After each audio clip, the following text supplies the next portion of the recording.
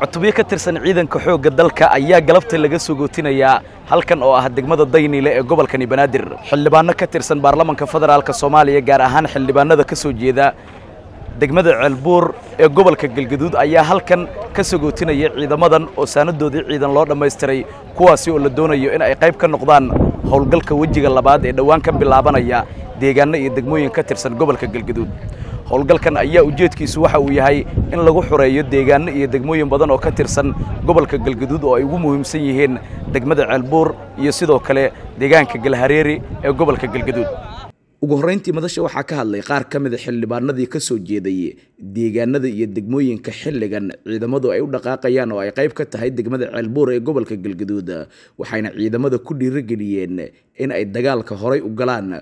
Sidoo kalena la xoreeyo degmada ceelbuur iyo deegaanada kale ee la midka ah. Halkan waxaan maanta idinla joognaa inaan idinla dardaaranno wax gaaroo noo kala qarsoon male safarkan wuxuu noqon doonaa safarkii ugu dambeeyey ee guusha dhowr jeeraa la safray laakiin safarkaanu safaradii hore waa ka duwan yahay. Waa safar guuleed waa safar wakhtigiisa ku soo aaday waa safar dalkeenna iyo dadkeenna waaye cusub u furi doona. Guul ayaana gacantiinna soo geli doonta wakhtiga ugu dhow. Ilaahay adinka ayuu sabab idinkaga dhigi doonaa in dadkiinnu ay balaayada laga kor qaado ilaahay adinka ayuu sabab idinkaga dhigi doonaa wiilasheenna iyo gabdhaheenna iyo waalidkeenba inay xorriyad ku noolaadaan. Ilaahay adinka ayuu sabab idinkaga dhigi doonaa in iskoollada iyo waxbarashada iyo wanaagga dadka kaleo soomaaliyeed ay haystaan in dadkeennu haystaan ay nabad ku nooloodaan ilaahay adinka ayuu nabad sabab idinkaga dhigi doonaa. Maanta waa maalin aan u joogno inaan u diyaar garowno oo wiilashan u dhashay deegaanka annagu aan ka soo jeedno ay u diyaarsan yihiin inay runtii u istaagaan inay xoraynta ugu dambaysa ee cadowga laga xorayn doono deegaanadeenna ay u abaabushaan aadaanna deegaanadii haddii ilaa yidhaahdo maalmahan oo dhan waxaan ka shaqaynaynay inaan abaabulkan aan wadno oo aan ugu diyaar garoobaynay xoraynta deegaanadeenna. Annagoo qabiilna uma soconno dad kalena ku duulimaya niman cadowa oo shan iyo toban sano ummaddeena dhibaato ku hayay inaan ka kacsanna haddii ilahay yidhahdaan rajaynaynaa waktiguna wuu dhow yahay. Annagu waxaan nahay xildhibaanadii matalayey deegaanka loo socdo ceelbuur iyo galhareeri waxaan leenahay guddoomiye xildhibaanadu ay leeyihiin oo guddoomiye jacfar waa ognahayoo waxaa u soconno hadda wax laidiin sheegaayo maahan.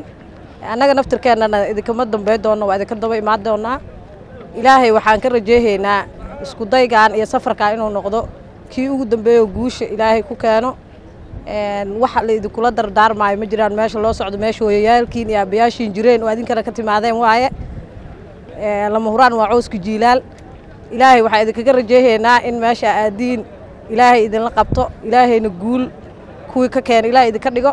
Annagana sida loo sheega waa idin raacaynaa idinkama harayno ugu dambayntii madasha waxaa ka hadlay xildhibaan maxamed abuukar jacfar waxa uuna tilmaamay in ciidankan maanta la sagootinaya qayb ay ka noqon doonaan howlgalka ka dhanka ah al-shabaab ee ka socda gobolka galguduud. Waxa uuna sheegay in dhammaan loo dhammaystiray ciidankan saanadii ciidan oo ay u baahnaayeen. Horta dhallinyaro waa salaamantihiin.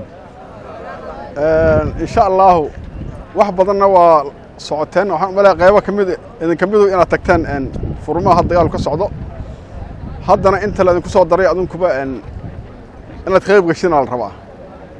Kolley ragga ficiina intay qabaan inaad qabtiin waayo muhiimaddu rag adinkoo kale aha halganka ku jira dagaalka wada annaguna wax kastoo aan qaban karno waa idinla garab taaganna xildhibaanada haddii aan nahay dadku ciidamadii dawladdana gooni isu abaabuleenoo waa dhaqaaqeen. Beelihii deegaanadaas degganaana waxaa laga rabaa abaabul. Odayaashooda xildhibaanadooda saraakiishooda intooda waxgasho intaba iyo wasiir hadday leeyihiinba marka intaan waa abaabulkii ay baryahan wadeen xildhibaanada. Kolley qaybihii kalena abaabulkooda waa in ka daba imaan doonaa.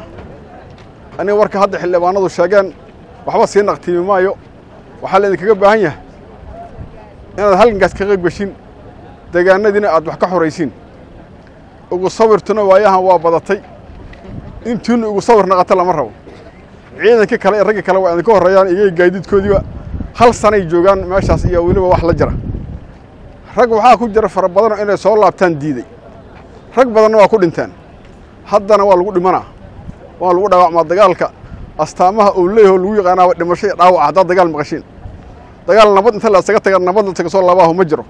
Laydiin sheegi maa baan dhimashana waa dhece laakiin alle cidda u qala dhima doonta intaas waxaa looga daray ninka wuxuu yidhi sagaar baxsada ay barta ciidankan ayaa waxay iminka u diyaarsan yihiin in ay u dhaqaaqaan jihada dhinaca ceelbuur halkaasi oo ay doonayaan in ay qayb ka qaataan xoraynta degmadaasi oo dhowrkii sane ee la soo dhaafay al-shabaab ay maamulayeen.